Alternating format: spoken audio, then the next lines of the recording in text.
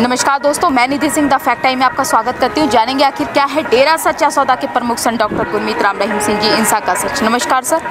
नमस्कार। क्या नाम है सर? देवेंद्र इंसा कब से जुड़े हो सर सर डेरा से? सन 1990 से जुड़े हुए हैं हम। क्या करते हैं सर? मैं सेवा ही करता हूँ। सर आप कहते हो इतने लंबे समय से जुड़े हो। कैसा माहौल देखा है संत जी के यहाँ पर आपने? जी हमने बहुत अच्छा माहौल देखा है यहाँ पर। आज तक ऐसा माहौल कहीं देखा ही नहीं है। 1990 से हम आ रहे हैं यहाँ पर। हमारे परिवार बच्चे मम्मी पिताजी सब चीज़ यहाँ यहाँ पे आ रहे हैं।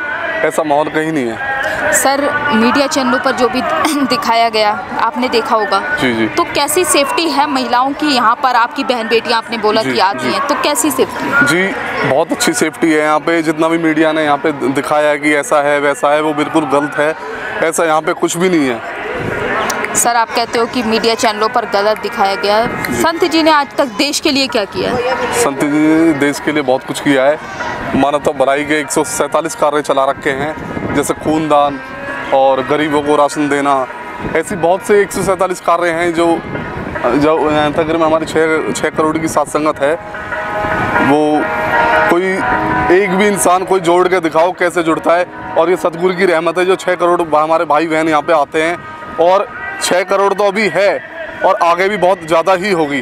पिताजी के आने के बाद और ज़्यादा संगत होगी हमारे यहाँ पर। सर छः करोड़ बहुत मायने रखती है। मगर आखिर वो कौन लोग हैं जो ये जो अच्छे कार्य कर रहे हैं जो लोग और ये डेरा सच्चा सौदा आगे बढ़ रहा है मानवता भलाई में नहीं चाहते आगे बढ़े? जी कुछ चंद लोग हैं जो ये नहीं चाहते कि डेरा आगे बढ़े और जो वो कर रहे हैं बहुत बिल्कुल गलत कर रहे हैं उसका नतीजा उनको भुगतना पड़ेगा। समय बिल्कुल नज़दीक है। पिताजी हमारे आने वाले हैं बहुत जल्दी और पूरी दुनिया देखेगी क्या ये क्या जो भी दिखाया है मीडिया के माध्यम से। तो बहुत जल्दी हमारे गुरुजी हमारे साथ ही होंगे और हमारे साथ हैं। सर आप कहते हो कि संत जी हमारे साथ होंगे बहुत अच्छी बात है मगर आज समाज में जो घाटा हुआ है संत जी के ना होने से तो वो क्या क्या नुकसान है सर? जी नुकसान तो काफ़ी हुआ है। जो ये कोरोना काल देखा गया है ये क्या है ये? हमारे गुरुजी को बंद किया तो कोरोना काल में सबको ही भुगतना पड़ा इस चीज़ में। तो मैं हम सरकार से यही अपील करेंगे कि हमारे गुरुजी को जल्द से जल्द रिहा किया जाए। जी ये मैसेज है कि पिताजी बहुत जल्द बाहर होंगे और बहुत जल्द ही होंगे। सरकार से सर क्या अपील करो सरकार से हम यही अपील करेंगे हाथ जोड़ के कि हमारे गुरुजी को जल्द से जल्द रिहा किया जाए।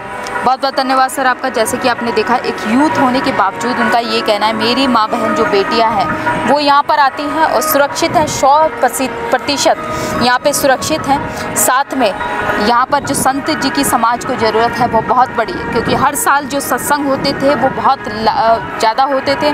लाखों में संख्या आती थी और नशा और वैश्यावर्ती संत जी छुड़वाते थे और बुरा काम छुड़वाते थे। आपकी जो भी राय है, कमेंट बॉक्स में हमें ज़रूर लिखिए।